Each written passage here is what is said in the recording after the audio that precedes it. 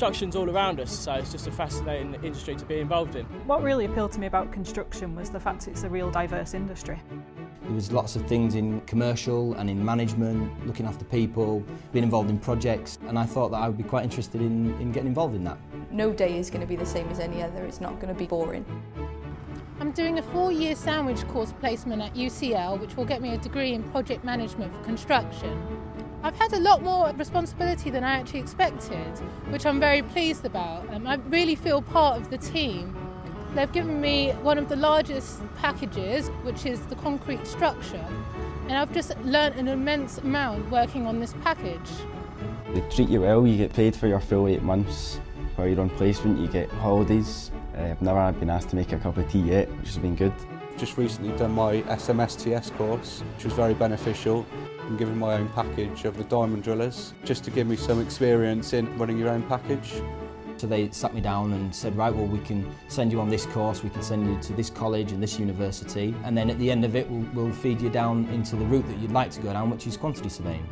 I currently spend four days at work and one day a week at college studying a foundation degree. Being successful, I then move on to a degree in construction management, which is a further two years. They're sending on different training courses like brickwork and block work, and also going on to curtain walling training courses. It's just trying to find the time to fit them in there.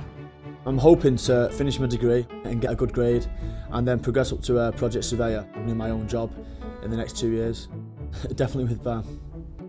Graduated in 08 and I'm now working as a project planner for BAM.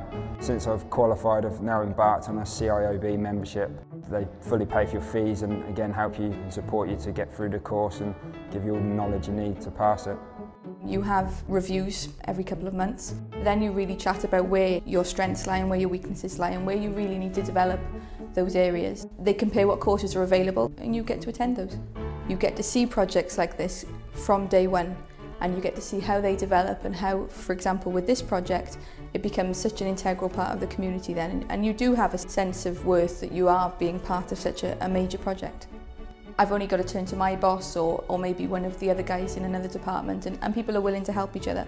So it is, it's a good spirit here. You're sent in different departments to, to, to learn how other departments work and contribute as a whole to the operation of BAM. In terms of training and development, I really, really can't fault the company. They're fantastic. There's never a problem or an issue if you want to try something or if you want to do something, it's always available for you to have a go at or you know you can pursue even further or branch out in little areas. You get a lot of support from the senior management and the directors.